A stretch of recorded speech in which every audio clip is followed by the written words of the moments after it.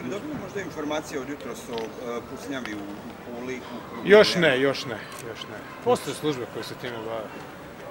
Incidenti se uvijek događaju. Nekad češće, nekad rijeđe. Čujem da je ubijeno, da je čovjek ubijen ili osoba je ubijena dvoje pločama. Hrvatska je zemlja dosta visoke razine sigurnosti, ali apsolutne sigurnosti nema. Ne postoji. Ni od bolesti, ni od respiratornih infekcija, ni od pada, ni od štete, ni od bilo čega.